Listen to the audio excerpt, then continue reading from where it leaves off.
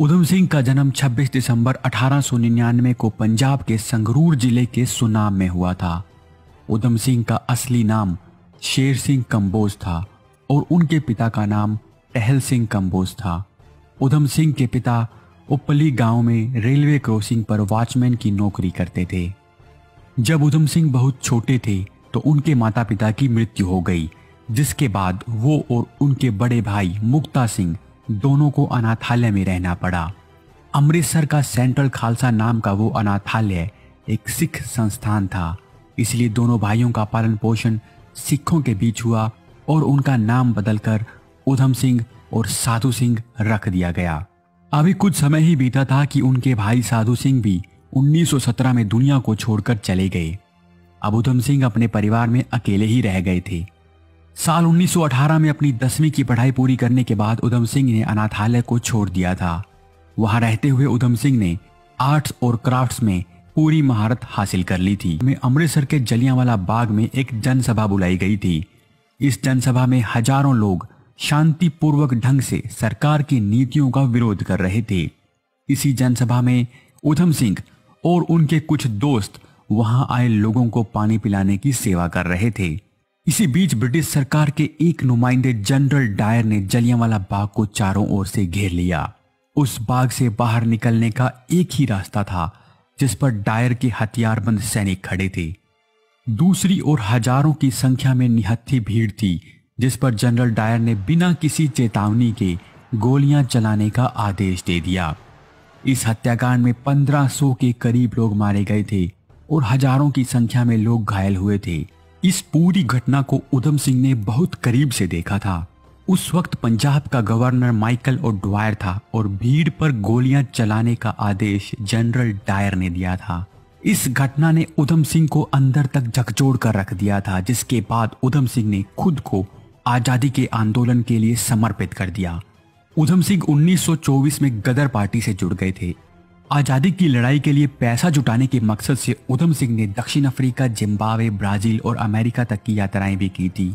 1927 में वो भारत लौट आए थे और अपने साथ आज़ादी की लड़ाई में भाग लेने के लिए कुछ नए साथियों और अंग्रेज़ों का मुकाबला करने के लिए रिवॉल्वर और गोला बारूद भी लाए थे। उधम सिंह को रिवॉल्वर रखने के जुर्म में आर्म्स एक्ट 1927 के तहत गिरफ़्तार कर लिया गया था, जिसके बाद उन्हें पाँच साल जेल की सजा सुनाई गई थी। उधम सिंह की ज़िंदगी से जुड़ी ये बात आपको ज़रूर सुननी चाहिए।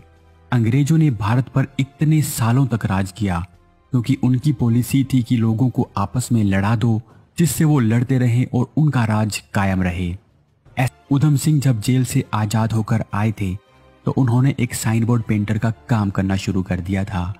उन्होंने अपनी उस शॉप के लिए खुद का नाम राम मोहम्मद सिंह आज़ाद रख लिया था।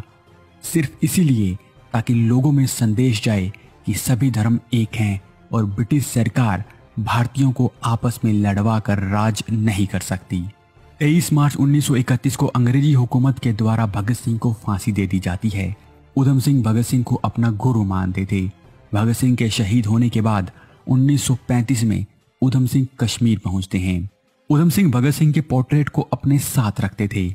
वो क्रांतिकारी राम प्रसाद बिस्मिल को भी बहुत मानते थे। कुछ महीने कश्मीर में रहने के बाद वो लंदन पहुँच जाते हैं। लंदन जाने के पीछे उनका सिर्फ़ एक ही मकसद था, जलियांवाला बाग में हुए नरसंहार का बदला लेना। आखिरकार एक दिन उन्हें वो मौका मिल जाता है 13 मार्च 1940 को लंदन के कैक्सटन हॉल में माइकल ओडवायर एक मीटिंग में बोलने के लिए आता है। इस मीटिंग में उधम सिंह एक अंग्रेज़ की वेशभूषा में शामिल होते हैं। वो अपने साथ एक रिवॉल्वर एक किताब में छुपा कर ले जाते हैं और मौका मिलते ही ओडवायर पर छह गोलियाँ दाग देते हैं। इसमें एक गोली ओडवायर के दिल पर लगती है, जिससे मौके पर ही उसकी मौत हो जाती है।